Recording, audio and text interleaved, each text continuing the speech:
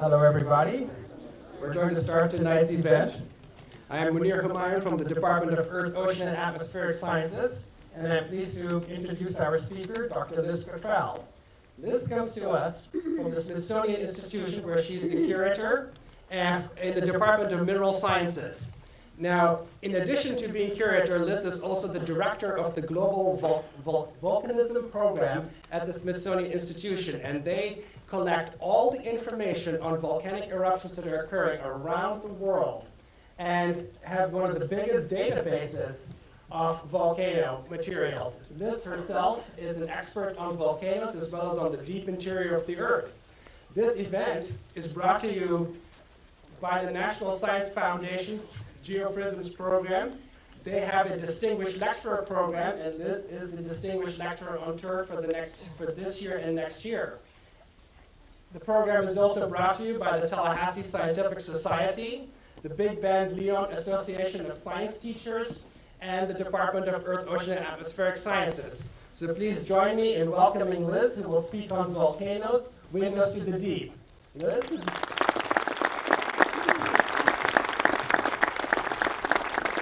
Thank you. Thank you, Munir. Is this, yep. Uh, it's awfully big echo there. So if anyone's having trouble hearing me, just raise your hand. What a fantastic crowd. Thank you so much for coming out on a Monday night uh, to hear about volcanoes. That's just absolutely fantastic in my mind.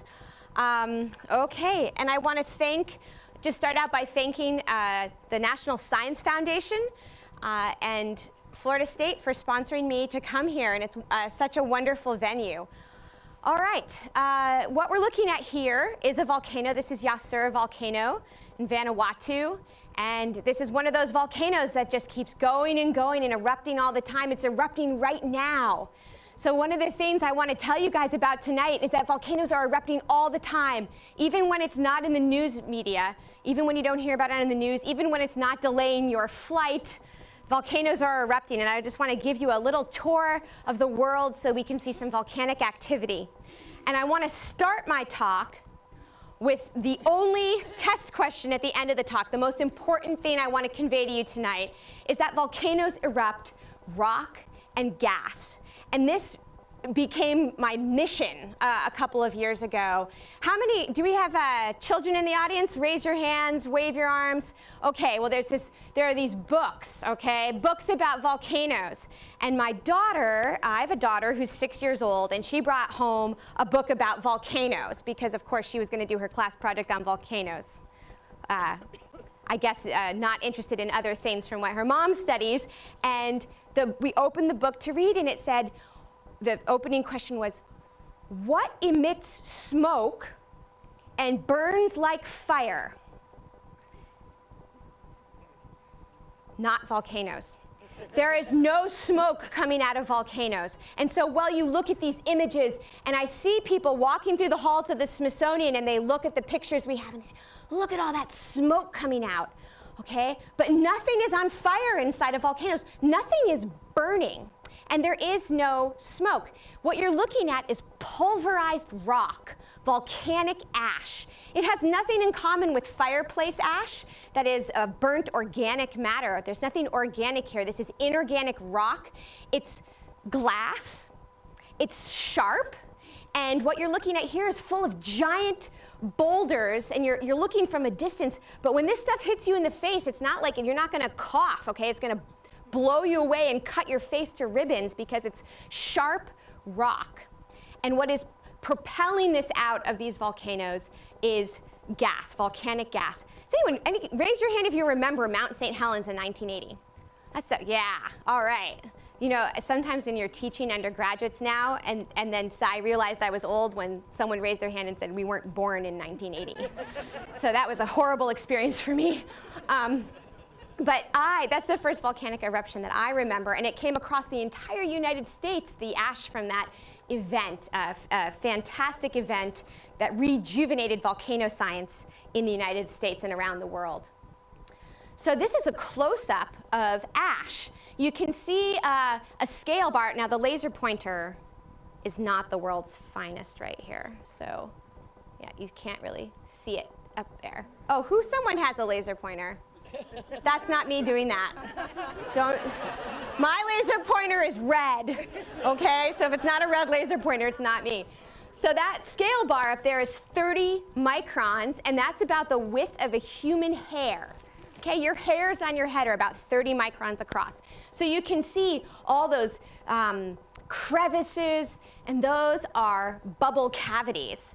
The gas of this volcano pushing the rock out into the world. And here, hold, held in someone's hand, is pulverized volcanic ash that actually, when it's pulverized fine enough, feels um, quite soft and smooth. Okay, but the larger particle fractions, it is glass after all, volcanic glass, and it's sharp like glass. And you can see here um, the face of a little boy in Indonesia where volcanic ash is a matter of everyday life. Now, pumice is volcanic rock. Okay, it's glass and it's sharp, and that's why you can use it to remove calluses.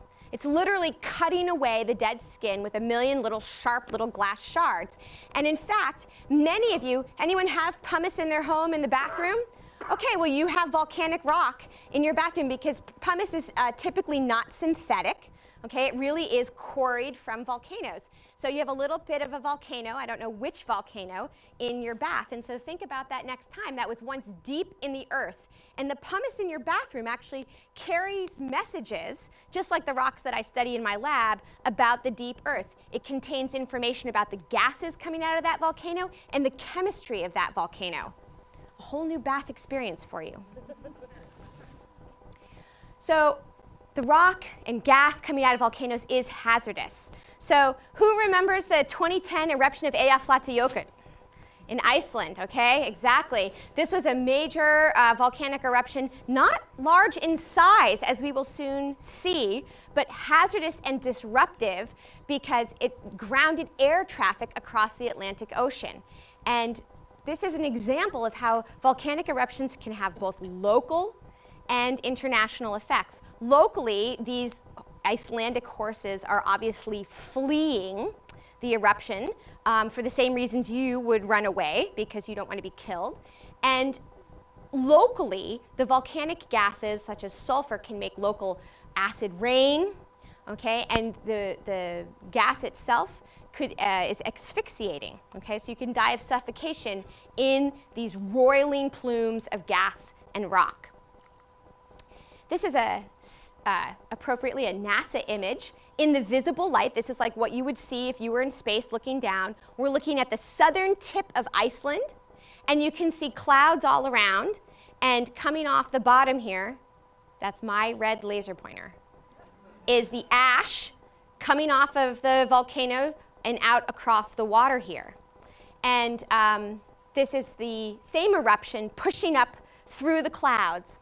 Okay, and you can see why this might be a hazard to local air traffic. And this was actually a, a personal uh, eruption for me. I had just become that month the director of the Global Volcanism Program and uh, went from zero to my phone ringing off the hook um, for a couple of months there. So really exciting times.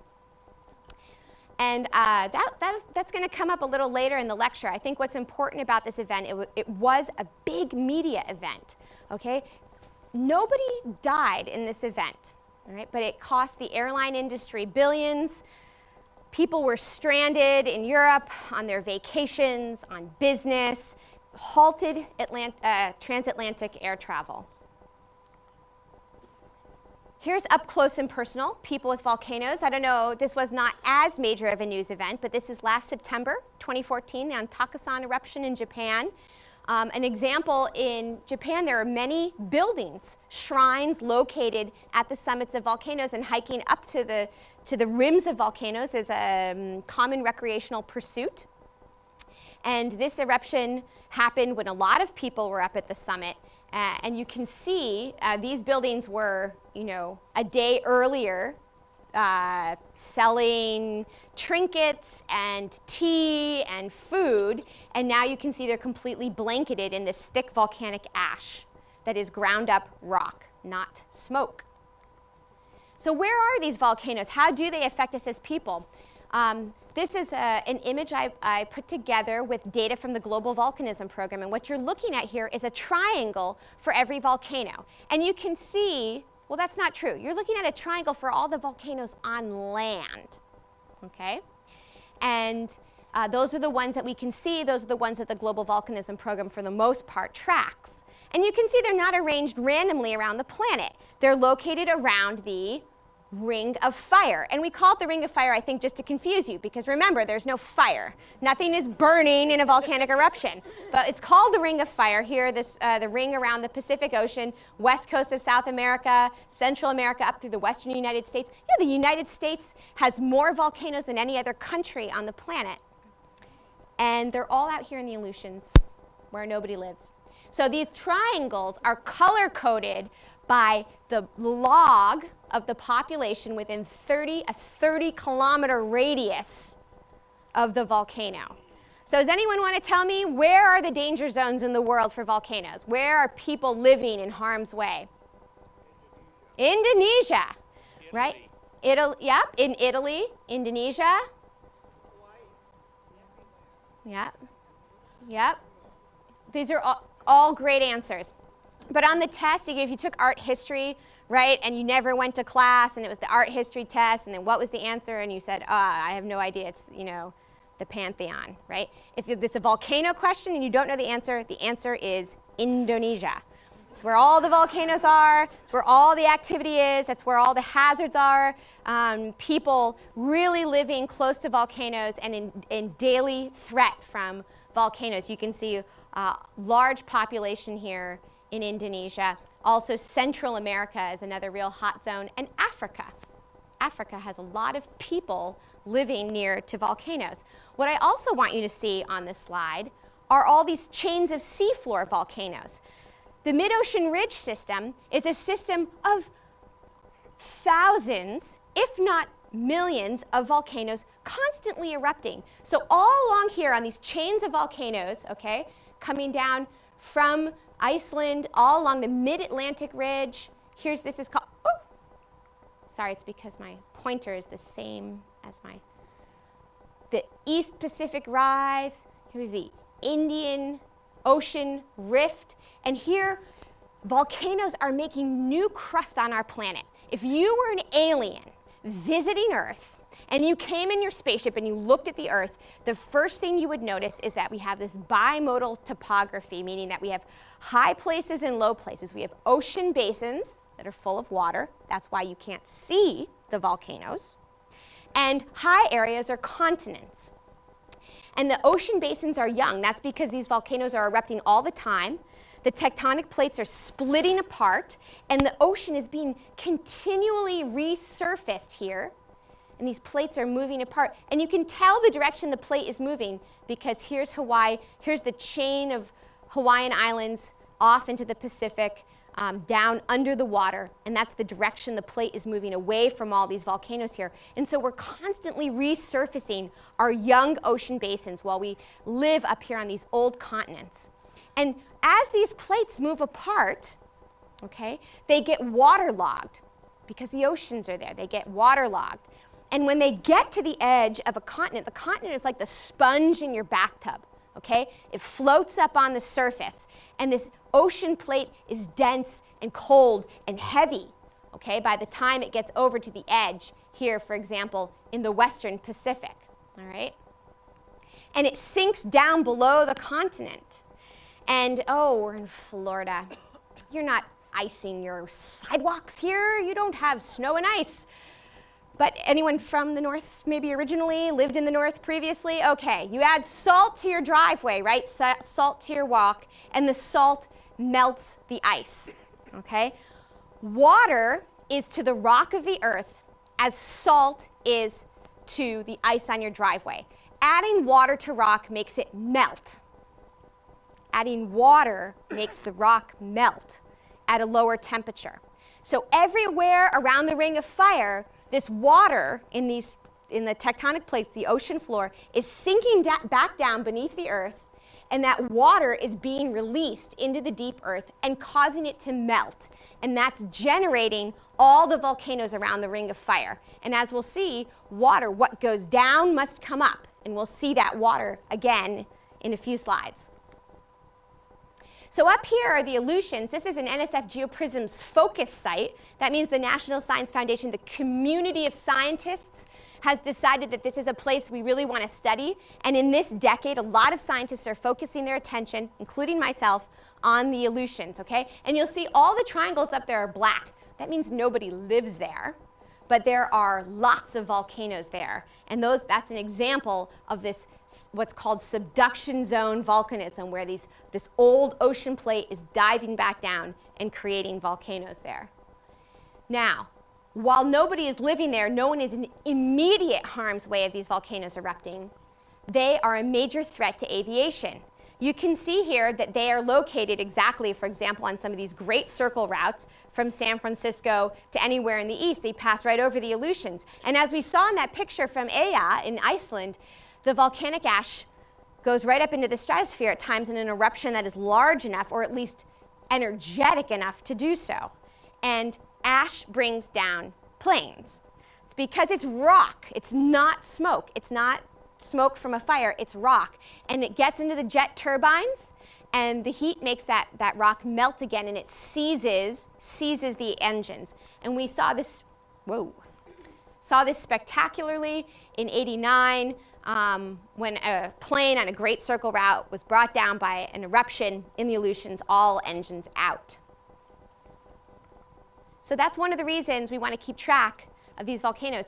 I mean, here is a small eruption Okay, this is a small eruption um, in Russia.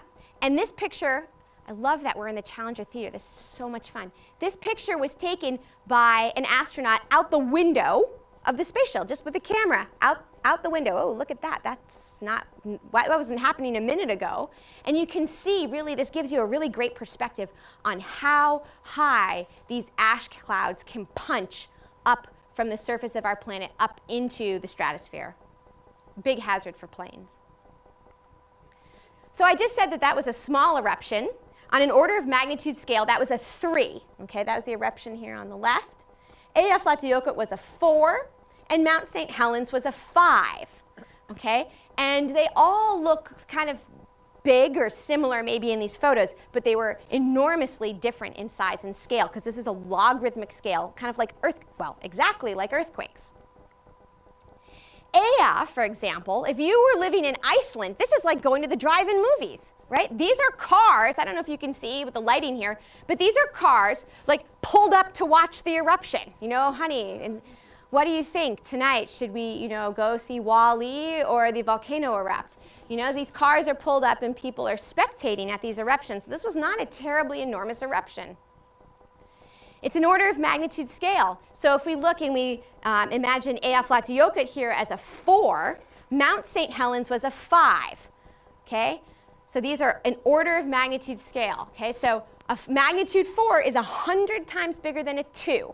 And VE, what's called the Volcanic Explosivity Index, okay, kind of like the Richter scale of volcanic eruptions, twos are happening all the time. Threes are happening often. Fives, not so much, okay? Fives are not happening very often at all. So we'll look at that now. What we're looking at now is a scale of about volcano size. And right here on the left, we've got the frequency. So I said twos are happening all the time. Okay, they're happening, you know, 50 to 100 a year, all the time, volcanoes erupting. And those aren't the ones on the seafloor. Those are the ones that the Global Volcanism Program uh, tracks on land, okay? Then we have magnitude and they, and they are not coming and they're not doing anything with uh, air travel. Here, here's the, the magnitudes that affect air travel and then climate, okay? So down here, threes. Suddenly we're in the range where we can affect uh, air travel because they're reaching the stratosphere. Eyja was a three, so here's a picture of Eyja. Redoubt, okay? The one uh, that brought down uh, plane, three. Here's an interesting eruption. November of 2010, Merapi in Indonesia was a four. You can see the destruction from a VEI4. This is volcanic ash covering all surface, surfaces. And this was a really important event for me personally because this was right, it, you know, happened in April of 2010. This was in November. Eyja, nobody died. Nobody died, okay? Everyone was fine. Yes, people were in, inconvenienced. You know, oh, I have to spend another day on the Mediterranean, okay? But Merapi, people died. Hundreds of people died. People lost their homes. People lost their property. How many media inquiries did I get? None. My phone did not ring for the Merapi eruption, despite the horrible loss of life and property. Whereas, you know, something erupts where people are, you know, I'm getting all choked up. Anyway, that was a really interesting introduction to me, kind of the intersection of science and society, where we can have uh, such great media attention, uh, disproportionate uh, perhaps to the, the magnitude, in, in the literal magnitude, and then the, the human impact of volcanoes. Again, Mount St. Helens was a five. We're familiar with that one here in the United States. And then Pinatubo was a six. That was in 1991. People probably remember Pinatubo, many people in the room. And that's the, the, the last biggest eruption we've had, the last six we've had. Very successful evacuation. Uh, we are not able to predict volcanic eruptions, but we can forecast and look for warning signals that in this case allowed a very successful evacuation from such a large event. Okay, Krakatoa 1883. This is not a picture of the eruption. We don't have a picture of the eruption, but this eruption was global in scope, okay? Uh, an eruption of a size 6, 7, these are global in scope. And a, we saw red sunsets across Europe, which inspired art. I mean, many people attribute a lot of the art that came out during this time to this eruption, which put so much particulate in the air as to cause sunsets to be red all the way in Europe. Tambora, 1815. This is an eruption we're going to come back to. This was a very large eruption with uh, effects on climate, which we'll look at in just a second. Okay, so why do volcanoes erupt? I need a volunteer. Right there, black shirt. First hand up. He was like, was ready. You got to come down here, though. And I don't always ask for a volunteer, but I put that in at the last minute. I was modifying my, Munir probably saw me, my host, modifying my slides at the very, very last minute because I thought I was going to get a lapel mic, but I've got this hand mic, so I don't have, look at, how am I going to do a demo? So, what's your name? Colton. Colton. Nice to meet you. I'm Liz. Can you hold this for me? Yep. Thanks. So, what is the, what? How do volcanoes work? Okay. Can I hold this again? Yep. Just hold it up high so people can see. This is a seltzer bottle. Okay, we've all had drinks from seltzer bottles. What's dissolved in seltzer? Carbon dioxide. Okay. Now, this is exactly analogous to a volcano. How a seltzer bottle works is, is a beautiful physical, physical analog for volcanic eruptions. So you might have in school, you can rest your arm. You might have in school, you know, or at home, gotten a volcano kit, right? And you make the volcano erupt, all right? That's not how volcanoes work at all. Those, that, those kits often work by a chemical reaction. And um, so Smithsonian makes a very popular kit. And so I want to encourage you to continue buying those kits. but that's not how volcanoes work. I just had to check myself there. I was like, wait a minute. So volcanoes actually work uh, you can do a better demonstration at home in your classrooms and with your kids using a seltzer bottle, okay? So carbon dioxide's dissolved in there. It's bottled, you know, if you say contents under pressure, okay? Bottled under pressure. Bottled in cold, high pressure conditions. We have the carbon dioxide is dissolved in the water just as carbon dioxide, the same gas, is dissolved in magma, liquid hot magma. Carbon dioxide dissolved in both. Okay, and it looks innocuous because it's in here. It's got the lid on. We've got the lid on. Can you take the lid off quickly for me, as fast as you can? Okay, what do you see in there, Colton? I see. Hold it up so people. of bubbles. Bubbles. A lot of water everywhere. Yeah, I hope you didn't get too wet. So there's a lot of bubbles. And this is exactly what happens when a volcano erupts. The pressure is released from the surface. That's what happened at Mount St. Helens. There was a landslide, And the landslide removed the overburden, lowered the pressure on the magma, and just the same way, the carbon dioxide, okay, its solubility in the magma is lower under low pressure conditions, just like the solubility of carbon dioxide in water is lower under lower pressures. That's why it's bottled under pressure. And just like that magma, this is boiling. The seltzer water is boiling. Okay, we're nucleating bubbles and we're taking something from a dissolved state and we're boiling the CO2 off. Now, when that CO2 nucleates in bubbles because the solubility has fallen, because the pressure has changed, just like in a volcano, those bubbles are buoyant. They're less dense, okay? So pumice, and I have lots of rocks here. I hope you come down and look at them afterwards. Pumice, just like the pumice in your bathtub, okay, floats in water because it's less dense. It's full of bubbles. Can you see the bubbles in here? Yeah. He's confirming bubbles, okay? And it's the bubbles that want to get out of the top of the volcano. And they rise buoyantly and they buoyantly and they want to escape so violently that the water comes along for the ride. And that's just like a volcano. The magma's along for the ride. The rock is along for the ride. It's the gas that wants to get out and takes the rock with it, takes the lava, the magma with it, which then turns to glass in the air. Thank you so much. You did such a wonderful job. You can give him a hand. It's okay.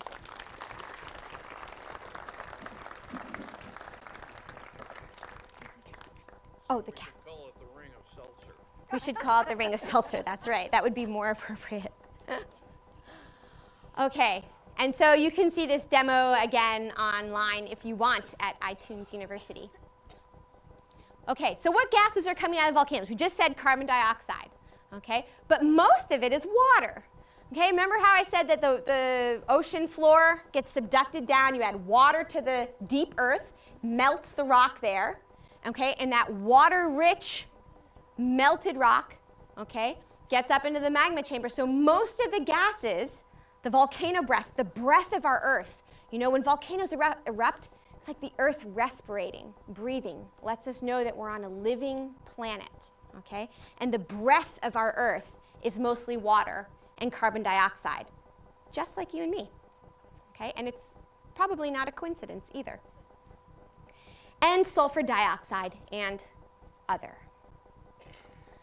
Here's a bit of what the other is down at the bottom here, but you can see most of it is water. CO2 is a lot of it. Sulfur is really interesting because sulfur we can see with when we put on special eyeglasses, okay? When we're looking on the ultraviolet, we can see SO2. So here's a visible photograph, okay, of a little volcanic plume here on the right. And then the image on the left is an image taken with an SO2 camera, with a UV camera. We can see the plume in the image, and we're actually imaging the sulfur dioxide that's coming out of the volcano so we can track the plume that way. And this is a, a great new technology coming online that's helping scientists to better understand the gases coming out of volcanoes. Here is Hawaii. Now, instead of with an SO2 camera, I'm looking from space. Okay, I'm using the same kind of glasses. I'm looking in the UV. I'm looking at this sulfur dioxide plume around Hawaii. Now, in Hawaii, uh, they call it VOG, volcanic smog. And it acts just like smog in Los Angeles. You know, it decreases visibility, it's a health hazard, and here we are seeing it from space.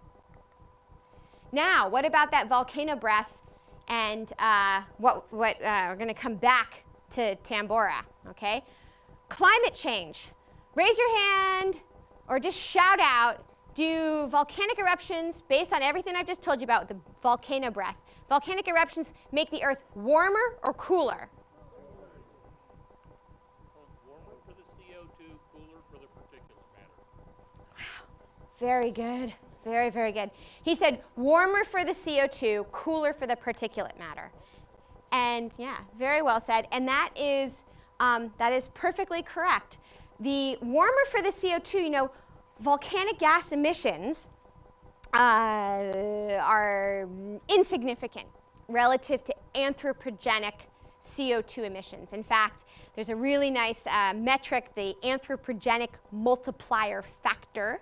Okay, people have uh, an effect on an annual basis about 150 times right now all the volcanoes in the world in terms of how much CO2 we put out. Okay. But on short time scales, the effect of volcanic eruptions is to cool the planet. And that's because sulfur aerosols, okay, absorb heat from the sun and also block radiation. So we're cooling the climate when we have an eruption, and that cooling effect can last um, years, okay? And so here we have France, we have Europe in 1815, the summer of 1816, uh, was the summer when there was no summer. We had massive crop failure. We had famine in Europe. And where is Tambora? That's, you guys are quick learners, yeah. Um, so you have uh, crop failure, famine. It was snowing. The canals were frozen. Okay, in August, it was it was it was winter in July in Europe because of this eruption. On the other side of the world, CO2. I can't show you a picture of CO2 from space, or actually I'm about to, but I couldn't about a year ago because we had no way to look at CO2 because you may be familiar, this seems like a really highly educated audience, really uh, familiar with the CO2 concentration in our atmosphere. This is the CO2 trend. We've surpassed 400 parts per million. This is anthropogenic, people-made CO2. And it's so high okay, compared to what it was even a few decades ago, that it's got such high background, we can't see the volcanoes anymore. Or since we've had the technology to look at volcanoes with satellites from space, it has always been too high. The background is too high. So it's very difficult to image CO2 from volcanoes from space, even though it's a major gas. So the sulfur is a tiny amount, but we can see it easily. The CO2 is a major amount, but we can't see it at all. So it's very hard to quantify the amount of CO2 coming out of volcanoes. This is SCIAMACHY, a satellite that sadly stopped communicating with us in, in 2012.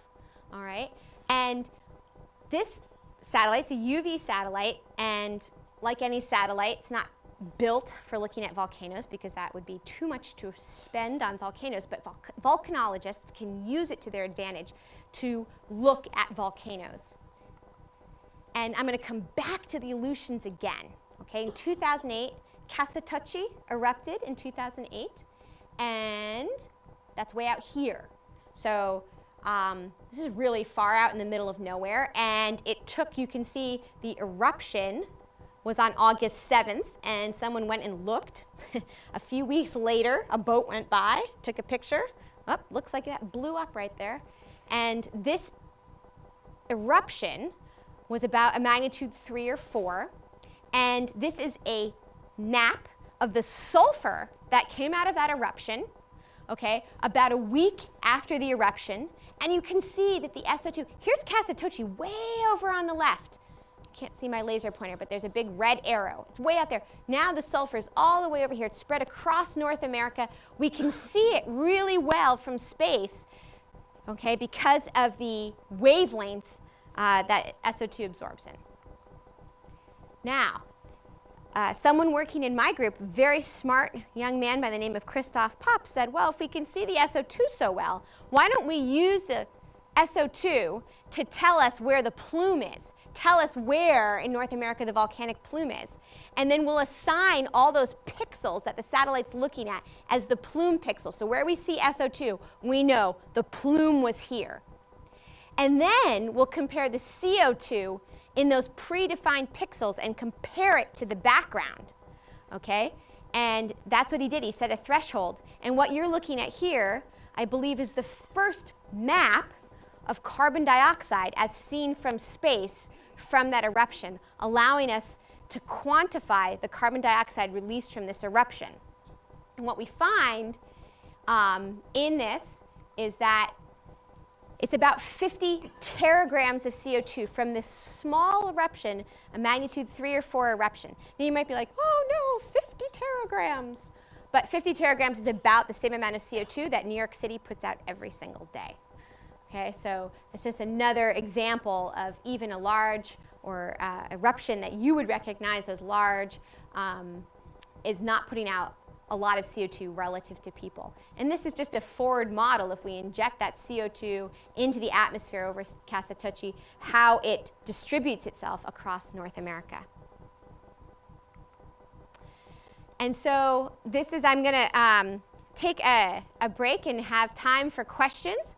I have another uh, bunch of images and slides about volcanoes in the ocean if people are interested, but I want to make sure that people have time to ask questions in case anyone has to leave.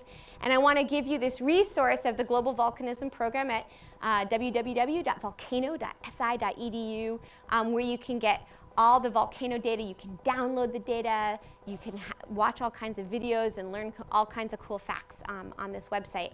And I just want to take a, a pause and hear your questions. And then if people want, I can move on to talking about some volcanoes on the seafloor. But no one has any questions, I'll move on. But I'd love to hear your questions. Yeah, uh, pink shirt. Um, so you said it was like dust and gas and stuff. So why do we see fire then if it's just gas and not fire? Great question. What's your name? Kia. Kia asks, if it's just gas and dust and rock, why do we see fire? And the thing is, you're not seeing, so that first image, oh yeah, right there, great, perfect. In that image, it looks like we're seeing fire. Now, fire is something that's burning on fire, it's combustion. Combustion is when we're taking something, we're getting it hot, we're changing it chemically, okay? Combustion. This is incandescence, which is that the rock, the melted rock, the lava, is so hot that you're seeing it, you're seeing that portion of the spectrum that's glowing red. So um, if you think about blowing glass might be an experience if you've ever seen a glass blower, right? And they get the glass so hot that it glows red. That's what you're seeing, incandescence. It's not combustion. It's like a glowing with, with the, because of the temperature, because of black body radiation. Like the top of a stove is not on fire, that's great, like a top of a stove or a glass blowing. It's not on fire, but it's glowing red hot. Other pink shirt. Oh, sorry. Yep. At the top. Volcano.si.edu. Uh-huh. Um, what value uh, in, in that scale of two, four, five would Yellowstone be if it erupted? Uh, this is like my most dreaded question. she asks, what value on the magnitude scale would Yellowstone be if it erupted? So Yellowstone is a super volcano. And um, I get a lot of movie requests to talk about super volcanoes, and I always shy away. Um, super volcanoes are a real thing, okay? Um, in, in Chile, um, in, in South America, Yellowstone, we've had a lot of examples of super eruptions. These would be eruptions of magnitude 8, probably. Uh, the, the, the, magnitude scale goes up to a 9. We don't have any recorded 9s, okay? So um, it's an 8. And Yellowstone, if it happened, it wouldn't matter what the magnitude was because we'd be dead. I mean, yellow, a, a, Yellowstone scale eruption is uh, on the scale of the kind of eruptions that have global, dare I say, cataclysmic effects, mass extinctions. You would have ash veils across the entire United States, um, massive climate change from an eruption like that. Bad news. Yeah. yeah. What on the number scale it's Vesuvius. Vesuvius. Oh, Vesuvius. Vesuvius is a great volcano to talk about. Um, now, Vesuvius could be any magnitude, really. I mean, Vesuvius could erupt uh, as a two, a three, a four, five. Okay, Vesuvius is a really interesting volcano. It's a very periodic volcano. So um, Naples is built at the foot of Vesuvius. Vesuvius is the volcano from Pompeii, if you're familiar with Pompeii. all right? And that was about 2,000 years ago. We had the loss of an entire um, city there. The people of Naples today live in great danger. It's probably the world's most dangerous volcano in terms of its potential to erupt, erupt soon, and have a large population living right there.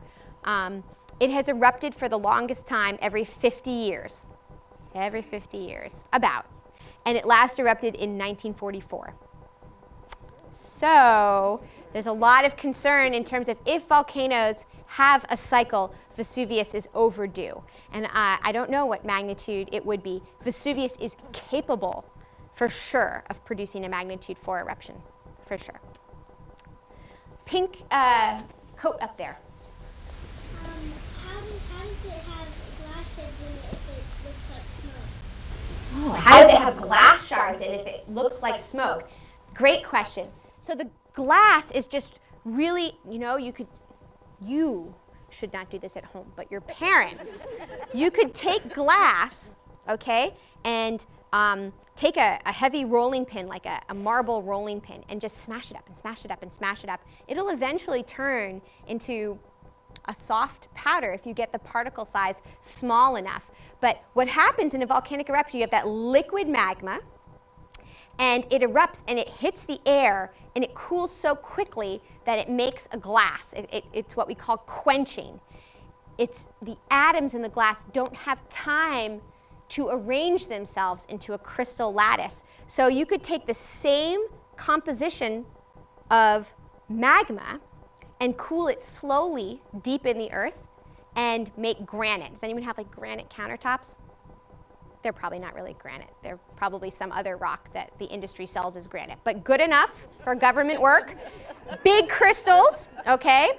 Granite, cooling slowly. And then if we took that same composition, that same chemistry, and we froze it fast enough, it would make glass. And if you want to come down afterwards when we, I have a great example of volcanic glass from the seafloor. Maybe you can see the shine on that.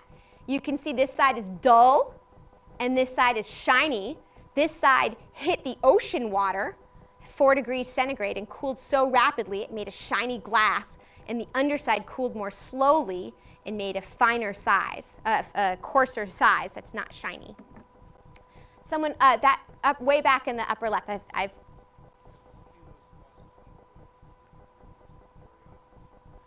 Absolutely. Volcanoes can cause tidal waves. They're called tsunami. And they are how the most lives are lost through volcanic eruptions, is through tsunamis. So um, a tsunami is essentially a standing wave, a displacement of water. And you see uh, the, the largest fatalities caused by volcanoes, up to 60,000 people estimated to have died in one eruption from a tsunami. We have tsunamis um, uh, in the Caribbean, in, again, Indonesia, uh, all these places.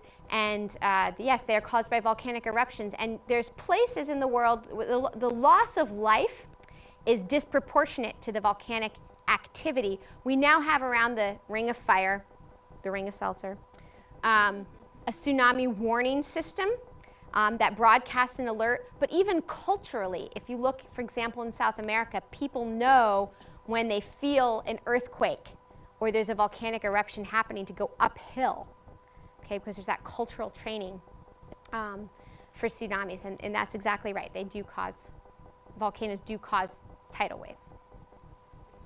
Do you know the name of the magnitude 8 volcano in Chile, and when was it?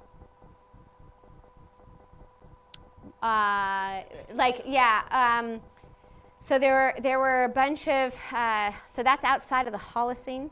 It's my area of my expertise is the, air, the time since the end of the last ice age. But the Altiplano, uh, uh, the Altiplano region of the central volcanic zo zone in Chile, um, the name of the eruption. I know the name of the deposits, that's not going to help you, the Tara ignimbrites and things like that. But I can you can email me or you can email my program the question and we'll get right back to you with that. Or you can look it up yourself. You can. No, you can. um, in, in the database, if you were to search our database only, for example, for magnitude 8 eruptions, um, uh, we would take you to the large LaMEVE, the large magnitude volcanic eruption database held by the University of Bristol, which we partner with, and they do all the older eruptions that are older than the Holocene. But I could get that for you. Mhm. Do we use, do we use any the volcano ash for anything? Great question. Do we, what's your name? Devin. Do we use volcanic ash for anything? Oh my gosh, yes. I mean, you mean beyond calluses? it's like something more useful to me. Yes, volcanoes are our friends. I mean, that's the most amazing thing about volcanoes. So we're all living here on land. Okay, the greatest benefit afforded humans by volcanoes is the creation of land. Okay, Japan would not exist without volcanoes. It's all volcanoes. Indonesia, all volcanoes. Western US, all volcanoes. So we live on volcanoes. Okay, volcanoes have made the land you live on. So it's useful for that. Hawaii, right, a volcano that we live on. It's a state, okay, made by volcanoes. Volcanoes also re-fertilize the surface of the earth. Volcanic soils are the most fertile soils on the planet. We are taking, we have, we could have depleted soils, and volcanoes are bringing up nutrients from the deep earth, bringing up the phosphorus, the potassium, the calcium, and that's why people have lived on the flanks of volcanoes. In the tropics, where the high altitude of volcanoes, it's warm enough that the high altitude allows people to still live on the flanks of volcanoes, and they're farming those flanks because the soils are incredibly rich, okay? So we get volcanic, we get fertile soils from volcanoes. And if that were not enough, your cell phone, anything like that, all the noble metals, and your wedding bands, anything, anything you have in your home is made by volcanoes essentially, all right? So we have the platinum ores, any kind of precious metal ores, um, uh, iridium, anything is concentrated by fluids in the deep earth in these subduction zones, these oxidized fluids create, or you have massive volcanic, in, well, they're igneous intrusions, but still the same principle. You have massive intrusions of magma that create ores, that create precious metals, that make all the technology around us work. Oh, hold on, right here in the yellow, and then I'll go over there. Can I ask two questions? Uh, the, the first, That was one. the first one is I was wondering if there's any research to try to harness the energy in volcanoes to produce Mhm. electricity and other uh, human needs. And the second question is, I've read that the Chinese observe animals to predict uh, animal behavior to predict earthquakes, and I'm wondering if they can do anything similar with volcanoes. It's a doozy. Uh, I'll do the f- take the first question. So she asked about um, volcanoes, harnessing the energy of volcanoes. Yes, all the time. It's called the nation of Iceland. I mean, all of Iceland's power is geothermal energy. Okay, that's why I don't know why why everything else is so expensive there, but energy is cheap. Right, energy up the wazoo. Volcanic energy being used. They don't. They don't essentially have no other power. And uh, the, the nation of Iceland is powered by geothermal energy. Um, other question. Uh, animals uh, might be able to predict earthquakes, so can they predict volcanoes? Just not even touching that. Because I don't know about the animals predicting, I mean, I, I obviously have heard about animals predicting earthquakes, but that's a kind of, t- I don't want to wade in those waters. And as far as I know, no volcanic eruptions have been predicted by animals. But I'm sure if you Google that, you'll find something. So, you know, I don't know. I was going to get up here.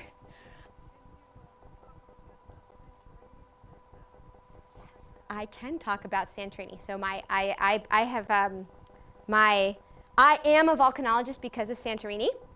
When I was an undergraduate, I was a chemist. So if you're kids in the audience and you're thinking, I want to be a volcanologist, I was a chemistry major um, in college, and I was you know, doing my thesis work and the test tubes and all that stuff. And I took a geology class about planetary geology from a man named Jim Head and it was just blew my mind. And I went to the geology department and I said, I want to do my thesis work in this department, even though I'm a chemist. And I had a couple of false starts, and then I, I fell in with a guy named Mac Rutherford, who was studying Santorini. That was my, my first scientific research project. My first big one was Santorini. And um, I can talk about that. The magnitude 7 eruption of Santorini ended the Minoan civilization around the turn of the century, early 1600s, okay? Ended the Minoan civilization. It is the source of the myth of Atlantis, the lost city of Atlantis. There was a civilization, the Minoans, and they lived in the Mediterranean basin. The Santorini is located off of, uh, it's part of Greece, island Greece. Popular honeymoon destination. Uh, you can now that it's completely blown, it's made a caldera. A caldera is the big pit left after a volcano has a, climatic eruption. Okay, and uh, the Minoan civilization was completely wiped out by that eruption.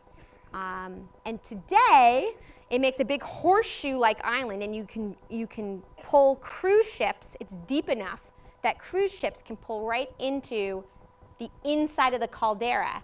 And when you're looking up at those cliffs, you see all the eruptions of this volcano, all the layers put out by this volcano right in the cliff face. Magnificent. I suggest going. Um, way up in the back left. Yeah, you.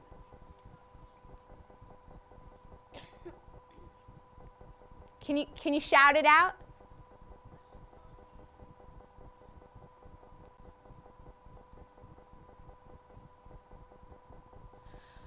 What do volcanoes turn into after they erupt? They are still volcanoes. So that's a, that's a really, really good question. How do we define an active volcano? All right? Volcanoes we define as active any volcano that has erupted, is known to have erupted, or is suspected to have erupted in the Holocene, which is the last 10,000 years. Okay, so even if a volcano hasn't erupted in 9,000 years, we still call it an active volcano. All right, so you look at a volcano, let's talk about Mount Rainier, for example. All right, there's a volcano that's right in the Seattle Tacoma metro area. All right, people have built their homes on pyroclastic flows that are only, you know, hundreds of years old. Okay, um, and uh, this is a this is this is a, a, a big deal. So volcanoes are still volcanoes even after they erupt. Yellowstone, still a volcano. Wow, you can't just shout out. Raise your hand, man. Okay, back up there, and then I'll come down here.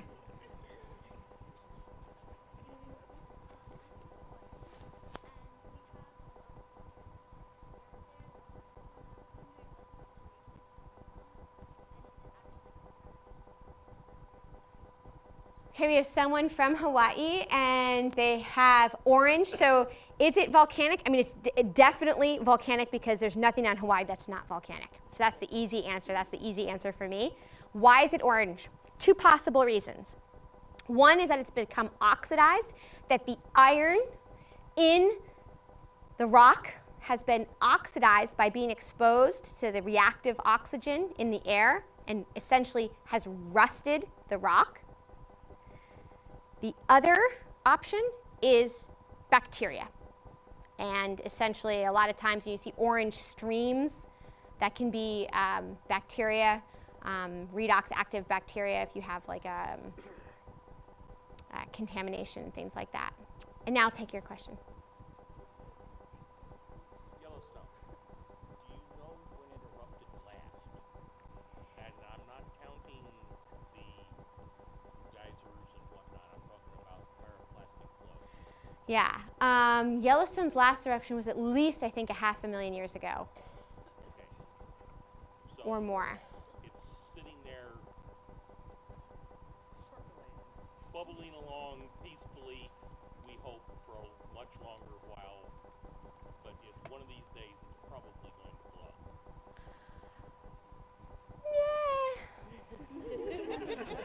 I don't know that we can.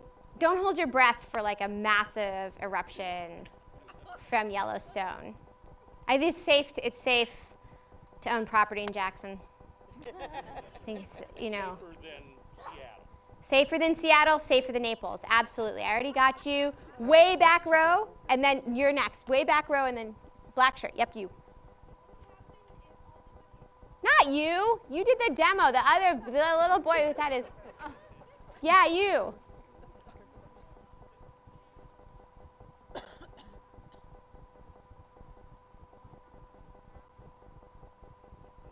It does.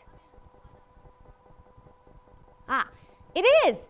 Uh, he said, when a volcano erupts, why doesn't the mountain erupt and why doesn't the, volcano, the mountain melt? It is, it is, it is. So the, the, the volcano, the edifice in a volcano like a stratovolcano, if you could cut the volcano this way, you would see all the layers. So a great example, you can go online at this same website, okay? And if you go to the Learn link and you look at some of the videos, there's a great example in Mexico, Paricutin, the volcano born in a cornfield literally, there was nothing there. There was a cornfield.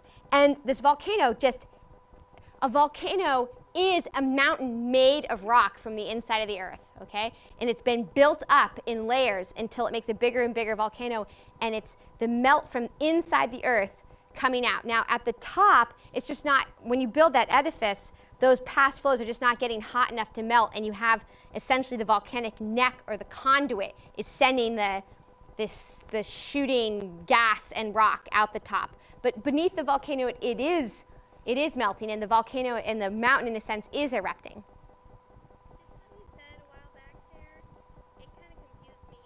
I probably said something wrong then. you said the water makes rock melt, hmm but Mm. water cools the magma. That's why Hawaii is there at all. So I just don't understand that. Great. She says, you said that water makes the rock melt, but then, then you also said that the volcano, you know, Hawaii is there because you got this glass from the, the hot lava hitting the ocean floor and cooling quickly. So how can it both melt rock and cool rock, cool the magma? Great question. So deep in the earth, okay, we have, I think one of the major, there are two major misconceptions in, earth science, and one of which, okay, can't, we don't have the room that much longer. Um, one of the major misconceptions is that volcanoes put out smoke and fire, but it's rock and gas. And the other is that the inside of the earth is liquid. The inside of the earth is solid. We, ha- we have a solid planet. It's solid rock. 70% of the volume of our planet is solid rock. Not just, a not just the that we're standing on, but deep, deep down, it stays solid all the way 2,008, no, yeah, 2,883, thank God someone else is here, 2,883 kilometers all the way to the core mantle boundary, okay? The total radius of the Earth is 6,731 kilometers, okay? And if the microphone, if the microphone were the radius of the Earth, the solid part comes all the way down to about here, and that's solid silicate rock, all right? And then we have a liquid iron metal, iron nickel alloy core, and the liquid core is roiling about and convecting, and that creates the magnetic field. And then at the very, very center, I like the Tootsie Pop, the center, such high pressure that the, the liquid iron is solidified again due to the incredible pressure. So here's the thing that you have to get your head around. If we are all atoms in this room, all right, and we're compressed into this room, and so you're all sitting in these chairs, right? We've organized you that way, all right, because that's how much we can pack you into this room by organizing the chairs in rows and columns, okay? So you're all packed into this room, okay? We're, we're pressurized in here, okay? Then when, when, the, when this is all over and we're kicked out of the room in a few minutes, Hey, we have this for another hour. oh, We're not under that time restraint. but he said we only had a, no? I was misinformed. So I can keep answering questions um, and I can do more slides. When we leave eventually, when I eventually say it's time, I must leave, we'll spread out, okay? And so when we're together, we're packed densely, and that's like a solid, okay? We're making a, I was like, where was I going with this?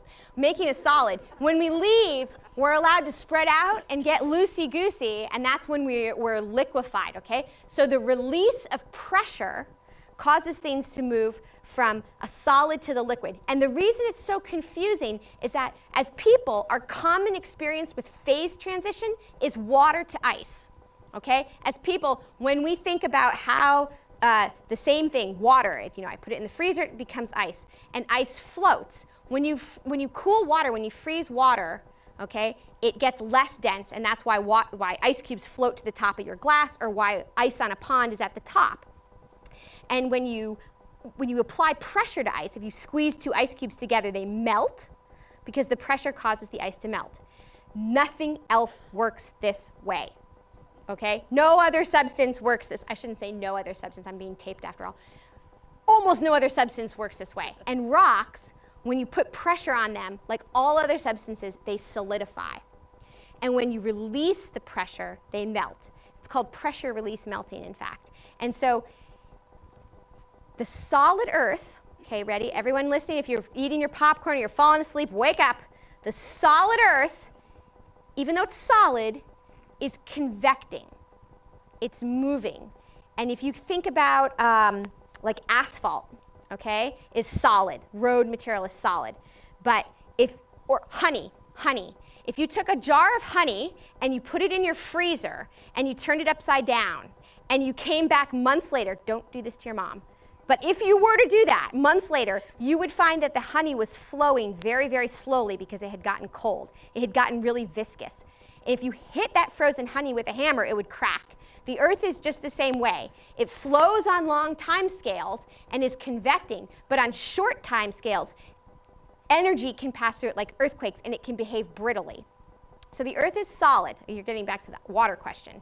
And that solid, when you add water to it, it lowers the melting point just like any substance. So I'm searching now for a common analog to adding, well, just like adding salt to, to water ice, okay? It, when you add an impurity to a substance, it lowers the melting point. So the water lowers the melting point of the solid rock. Now I've got liquid hot magma. And it's hot and it's molten.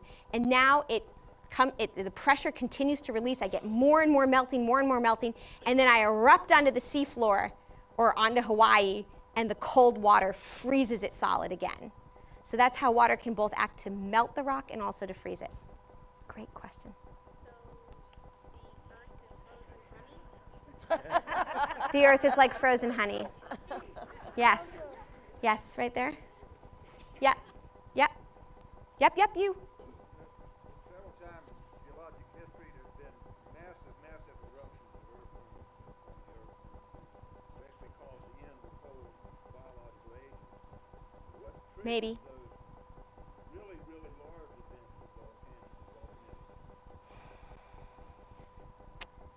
I don't know.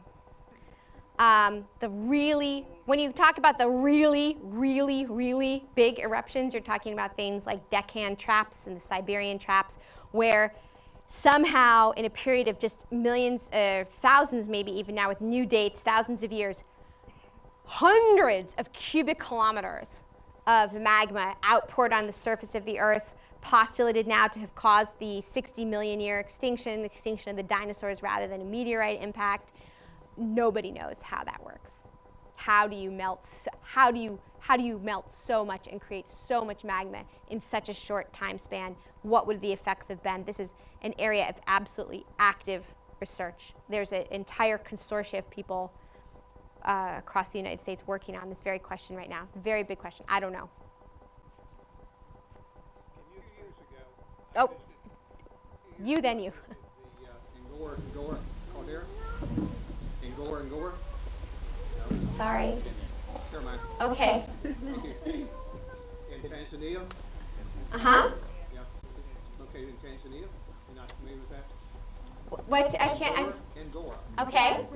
In Okay. Tanzania. Are you familiar with the calde- caldera there? No, I'm sorry. I don't know. I'm not familiar with all the feature names of. Just want to go back to uh, my basic question. How does a caldera get developed? Uh, that's a great question. How does a caldera get developed? Um, that's a topic of many research papers, and it's much better shown with figures than I, it would be much easier to show with figures than with words. But essentially, you're emptying out a magma chamber, and then you have um, it's thought of to have roof collapse, blocks of the roof as the magma chamber empties out. Roof blocks collapse, uh, and and that's and that forms the caldera floor. You've essentially taken all the the liquid rock from inside, you've taken it out, and you have collapse into the void space. I'm going to take one more question, and then I'm going to let, I see people need to leave. I want to let people leave without feeling like they're being rude. So, yeah? Uh, we were just recently in French Polynesia, and I'm wondering about how atolls developed and why some have mountains in the middle like Bora Bora and others are just big lagoons. Yeah, that's a great question. So, um, a great uh, geologist actually was, you know, Charles Darwin, in fact. And a lot of what we understand about how the Earth works comes from the study of, of atolls. So you have a volcanic eruption, and then uh, if, I, if I went back, okay, Hawaii, remember that chain of islands going out from Hawaii, all right? What you have is a volcanic eruption that builds land, okay? And then remember how I talked about new crust being formed at those mid-ocean ridge volcanoes, and it, it's resurfacing the planet, moving aside. That is thermal subsidence. So the plate, the, the tectonic plate, is sinking, cooling, and subsiding, causing the whole island to sink back down. So if there's no longer a source of heat making new volcanic rocks, eventually the plate subsides away under the water and you can form an atoll also from the action of biology from corals, for example, constantly wanting to live near the light at a certain depth. So they are growing and growing as the land is sinking and sinking. And that's how you get some of these beautiful um, ringing coral atolls. Well, you, the biology, yes, but the biology needs to keep up and keep those reefs near the surface.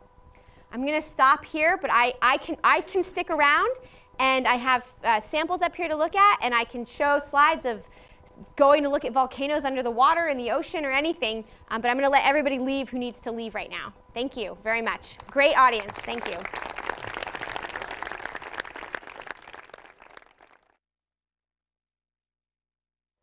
I'll make a few more formal remarks. Um, and anyone, yeah, people came up to look at this stuff. This is just a good example of uh, the solid part of our Earth. I forgot I had this sample someone else found it, uh, the solid part of our Earth that hasn't melted, but that if it were to melt would make volcanic rocks, would make this black basalt that you can see is full of bubbles here. And if, if you want to feel how heavy this is, it's extremely dense, right? And you can see how the, the gas bubbles are so buoyant and so energetic that they can hurl objects like this kilometers actually away. It's, ex it's extremely dense and he heavy if anyone wants to come up and look at it. So I'm just going to show a few more slides here about ocean floor volcanoes. Since, can we bring the lights down? Reed, my man Reed in the box. Can you bring the lights down? Thank you. Um, seagoing research. Okay, so back to the volcanoes on the, and, and I was just asked the question, which was a good lead into this, about Iceland, which is this massive hunk of land, my little red laser pointer, up here. And you can see that Iceland sits right on this long chain of volcanoes that we call the Mid-Atlantic Ridge, okay? Hawaii is here on no ridge. It's in the middle of nothing. It's in the middle of the Pacific Plate. And he said, Why are there so many volcanoes in Iceland? What is going on there? Um, it's called a, a hot spot or mantle plume volcanism. And uh, let's see, I have this handheld mic. I'm going to use the microphone as a prop to do this. Imagine uh, that you have the, the, the, mantle of the earth, and it's the whole thickness here of the microphone, and down at the bottom you've got the core. And there's some topography there, and you create uh, a plume, a thermal instability, kind of like a candle. I, it's not like a candle burning. I just gave a whole lecture about how it's not like a candle burning. But un unfortunately, geologists use the analogy of a candle burning. A hot plume of material that is geostationary. And geologists have known about these geostationary plumes for a long time, and now with satellites we can really prove that they are stationary. Many of them are extremely stationary. These thermal plumes that come up. Now, the plate, the ocean plate, I told you, is moving across the seafloor. It's being generated, for example, at the East Pacific Rise here. Okay? And the, the volcanoes are generating new land, new ocean floor, and it's moving across like this and it's getting older and thicker and then it gets subducted beneath Japan and Russia and all up here, okay? And here's Hawaii. And Hawaii is the best example of a plume that we have. You have Hawaii today, modern Hawaii, and you have a plume underneath. And as that plate comes across this stationary object, just can't do this with the mic in my hand. Hold on. As the, you have the, uh, this hot thermal plume, and as the plate comes across it, you make Hawaii 1, okay? And then the plate moves, okay? But the, this stays in the same position, so the plate has moved. These now don't have the, they don't have the heat underneath them, so they start to sink and subside out to the west. And the location, the location of the modern plume, okay, is here where Hawaii is today. This land out here used to be where Hawaii is today. These are all old volcanoes. So as the plate has moved across this single stationary hot spot, okay, it, creates new, a new volcano here all the time. And soon this volcano itself will move off and away and a new volcano will form on the land that is now out here. In fact, it's happening already. A little volcano called Loihi is a new land, new island, new volcano off the southeast corner of Hawaii. And Iceland, okay, is a plume on top of a ridge. So it's like double whammy. The earth, the crust is splitting apart, and so you have all that pressure release melting. You're having the earth as it as it rises, it, the pressure goes down and you have melts generated. And then at the same time, you have a thermal anomaly from below that's giving extra heat. So that's why there's so many volcanoes and you have this enormous volcanic platform up here at Iceland. So those chains of volcanoes, this is now zooming in on that. Okay, you're over here in Florida on the left, all right? And out off the coast in the middle of in the middle of the Atlantic Ocean is this huge chain of volcanoes. Okay? These are all volcanoes along here. This is the axial ridge volcanoes all along here creating new crust. So this is where we have what, we, what geologists call zero age crust. This crust is made geologically yesterday. And the crust out here is old because it's moving away. So new generation here all the time, moving apart, okay? So we know these volcanoes are there. We didn't know that, you know, the, the, the revolution, the geological revolution happened much later than many other fields. And we think about the atomic revolution, biological revolution, okay, the discovery of DNA. The geological revolution is the most recent, okay? Even in the early 70s, we didn't get it. Okay, we did not get the basic principles, were not understood to science of how the earth works and that these volcanoes were out here and that the oceans were being resurfaced all the time and the plate tectonics. I mean, it had been noticed for a long time that, hey, Africa and South America, they kind of fit together, you know? But the idea that the rock was really moving apart um, was not well understood until the 70s. Um, and so these volcanoes out here, this is like a very common story. Uh, ships would, would go across the ocean and they'd ping, ping, you know, ping. And you would see this flat, flat, flat, forever flat um, ocean floor. And then suddenly, a giant mountain. And these giant mountains were the mid ocean ridge volcanoes along the middle. And uh, a woman named Marie Tharp, except um, her boss, Heezen, gets a lot of the credit, the, the guy, but it was her, uh, Marie Tharp at uh, Lamont Doherty Earth Observatory, who put all the ping pings together and as an artist started to draw these ridges, chains of volcanoes that must connect all the different topographic highs on the sea floor. And today, even her artistic maps, her physiographic maps, very, very accurately predict the real topography that we know is there now from both satellites and from sending ships with side scan sonar. This is, these are sonar images that you're looking at here. and satellite. So this is a, a, volcanic eruption underwater. This is the hot, liquid hot magma coming out, lava hitting the seafloor and instantly cooling, quenching, freezing to a glass, a disordered glass here on the seafloor. This is uh, West Mata. You can see great video footage of this online um, from Scripps, I believe. This is a boat that I was on for about three months called the RV Melville, again, a ship out of Scripps. And I was on this ship in 2001 with about 20 other scientists and about the same number of crew, 20 crew members.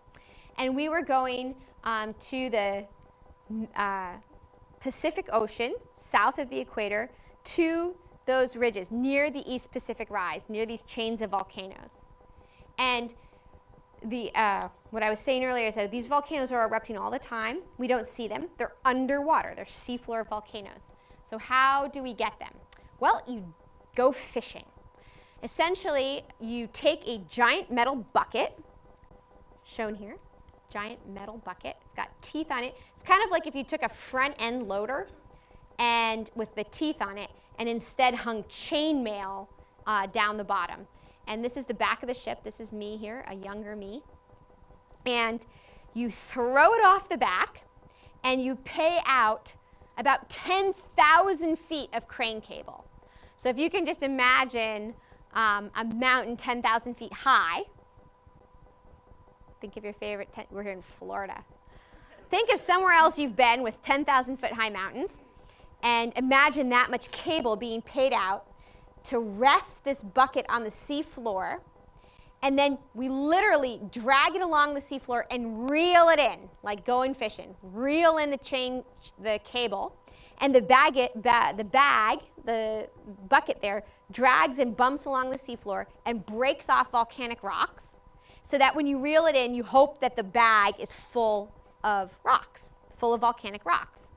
And indeed, this work goes on around the clock, in the middle of the night. It doesn't matter. I mean, your tax dollars at work, we're working all the time, uh, wherever the ship goes, dredging up volcanic rocks. And this is a big haul of volcanic rocks on the back deck of this ship. And here is me with my haul of, uh, this is I think my first dredge bringing up these uh, volcanic rocks from the seafloor. I'm very happy. You can see the shiny black crust and this beautiful, this is a pillow shape. They're called pillow basalts. Doesn't it look like a little pillow that you could go to sleep on at night? Except it's a rock. Um, but it's got this pillow shape, pillow basalt shape. This is the non-glassy, more slowly cooled interior, and this is the glass on the surface, this rapidly quenched glass, which is the, the bulk composition of the rock. Very useful in geochemistry. Okay. And sometimes we get a lot of rocks, and so these are all volcanic rocks that they all get uh, cataloged, documented, and uh, saved, okay, and brought back to, to institutions. It's extremely expensive to go to see. Um, you know, minimal cost would be like $50,000 a day for a minimal operation to go out and, and get rocks like this. So they're very, very valuable to science. Uh, this is another dredge. So this is one dredge, and we got all this. And this was another one. And sometimes you dredge up things that aren't rocks, like sharks. So we nicknamed Dredge 11 Sharks, um, because sometimes there are sharks in the dredge basket. And uh, even though this was a small haul of volcanic rocks, you can see they're really glassy and shiny. And if you're a geochemist, that's definitely what you want to see, because all a lot of the research takes place on these glassy rinds. And some up, sometimes we bring up stuff we don't know what it is. Okay, this was a, I don't know, looks like a shrimp. Um, but I'm not a biologist, so we just, you know, biosample number one, right? We, none of the geologists knew what it was. But we, we bring those back too. And this is just an interesting aside, is that um, a lot of what we know now about how life works and the origin of life comes originally from geology. It was geologists going to look at these volcanoes when they completely as a surprise to them. I think it was 1993. I remember this um, very well happening. Um, these geologists came and found life when they went down in a submersible, found life at these submarine volcanoes, living in the complete absence of sunlight. No sunlight penetrates to these depths in the ocean, and some of these volcanoes were teeming with life, not just bacteria, but like giant crabs and tube worms and all kinds of practically, you know, macrofauna, okay? And so now one of the major theories of the origin of life is that it may have originated from creatures living off of Earth's energy, the heat and the chemistry, the oxidation reduction reactions, uh, essentially colonizing the mid-ocean ridges with life. And not just little shrimps like that. Okay, so these all get sorted and, and cataloged. This is a picture of dredge number three um, from that event. Here's some of that rusty material. Okay, we can get rusting on the seafloor uh, due to the, the material meeting with our oxygen-rich uh, ocean water. And this is a drawer, just one drawer among thousands at the Smithsonian Institution. It really is like Indiana Jones. It's, it's no lie. Each one of these, this is a drawer, and each one of these little boxes a couple inches across, and each one of these boxes, you see the little black spots? Each of those vials is full of a few chips from a different volcano on the ocean floor.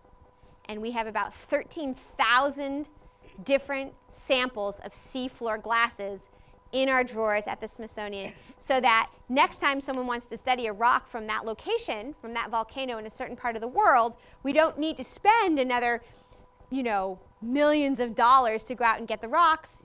Anyone, any um, person with a legitimate research question can check these rocks out like a library from the Smithsonian, take them, study them, and return them.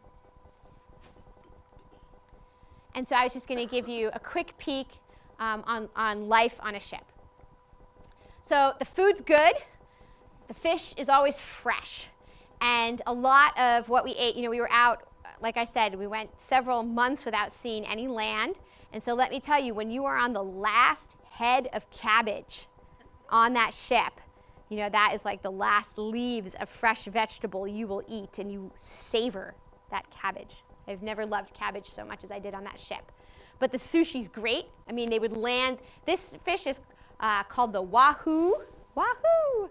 You reel these in, and they would fillet them right on the deck of this ship, and we just eat them raw. It was delicious. That's the captain on the right.